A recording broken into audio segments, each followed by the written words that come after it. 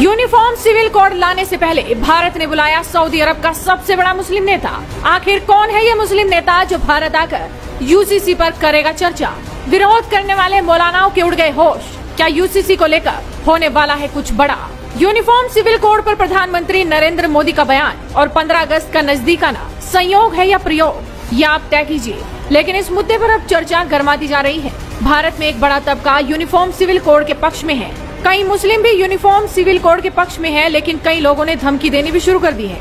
Liberal gang और अरशद मदनी के नेतृत्व वाले इस्लामिक संगठन जमीयत उलेमा हिंद ने कहा है कि मुसलमानों का पर्सनल लॉ कयामत तक नहीं बदला जा सकता। लेकिन यूनिफॉर्म सिविल कोड का विरोध कर रहे इन लोगों के लिए एक कयामत तो कुछ ही दिनों बाद आने वाली है। दरअसल भारत सरकार ने यूनिफॉर्म सिविल कोड पर बहस के बीच एक बड़े मुस्लिम देश को भारत में शांति और सहिष्णुता पर भाषण देने के लिए बुला लिया है। यूनिफॉर्म सिविल कोड लागू करने की भारत सरकार की कोशिशों के बीच सऊदी अरब के पूर्व न्याय मंत्री और मक्का स्थित मुसलमानों के प्रभावशाली संगठन मुस्लिम वर्ल्ड लीग के महासचिव Mohammed bin Abdul Karim Alissa अगले हफ़्ते यानी 10 जुलाई को अपने पाँच दिवसीय दौरे पर भारत आ रहे हैं। अपनी इस यात्रा के दौरान वो विदेश मंत्री एस जयशंकर, राष्ट्रीय सुरक्षा सलाहकार अजीत डोभाल और अल्पसंख्यक मामलों की मंत्री स्मृति ईरानी से मिलेंगे।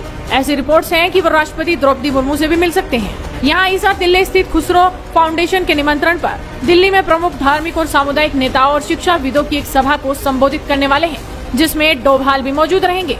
सऊदी अरब के एक बड़े नेता का भारतीय दौरा यूनिफॉर्म सिविल कोड का विरोध कर रहे लोगों के मुँह पर एक जोरदार तमाचा है। भारत ने यहाँ ये दिखाने की कोशिश की है कि जिस वक्त यूनिफॉर्म सिविल कोड को लेकर मुसलमानों को ज़बरदस्ती डराया जा रहा है, उन्हें भड़काया जा रहा है, ठीक उसी वक्त दुनिया के सबसे बड़े ताकतवर मुस्लिम देश के नेता भारत के साथ ही खड़े हैं। आपको बता दें कि पूरी दुनिया के मुसलमान सऊदी अरब के नेता अलीसा की बातों को मानते हैं। अलीसा जो बोल देते हैं, मुसलमान उसे स्वीकार कर लेते हैं। अब ऐसे में जब मोहम्मद अल बिन ईसा भारतीय सभ्यता, शांति और सहिष्णुता पर भाषण देंगे तो यूनिफॉर्म सिविल कोड का विरोध कर रहे भारत के इस्लामिक संगठनों को कौन पूछेगा? भारत का ये एक कदम यूनिफॉर्म सिविल कोड के खिलाफ जहर फैला रही टूल किट को पूरी तरह से तबाह कर देगा। आपको एक दिलचस्प जानकारी बता दें कि ईसा उदार इस्लाम के समर्थक माने जाते हैं। सऊदी अरब के न्याय मंत्री रहते हुए उन्होंने महिला अधिकारियों के लिए कई काम किए। उन्होंने पारिवारिक मामलों, मानवीय मामलों पर भी काम किया। पद पर रहते हुए उन्होंने विभिन्न समुदायों, धर्मों और देशों के बीच के संबंधों को मज़बूत करने के लिए कई कदम भी उठाए। मुस्लिम वर्ल्ड लीग का दुनिया भर के मुसलमानों के बीच बहुत प्रभाव है और ईसा भी विश्व के मुसलमानों के बीच काफ़ी लोकप्रिय है। यूसीसी पर बहस के बीच उदार इस्लाम के समर्थक, ईसा का भारत आना और बड़े नेताओं से मिलना ऐसे में बहुत ही महत्वपूर्ण हो जाता है। ईसा उन लोगों के भी कट्टर आलोचक रहे हैं, जो बिना किसी वैज्ञानिक आधार और कुतर्क के ज़रिए धर्म के नाम पर उपदेश देते हैं। महिलाओं के हिजाब पहनने पर दुनिया भर में चल रहे विवाद पर भी उन्होंने कहा था कि हिजाब न पहनने से कोई महिला काफिर नहीं हो जाती। बहरहाल, उन यूनिफॉर्म सिविल कोड की दिशा में केंद्र सरकार ने बड़ा कदम उठाते हुए एक मंत्री समूह, यानी जीओएम का गठन किया है।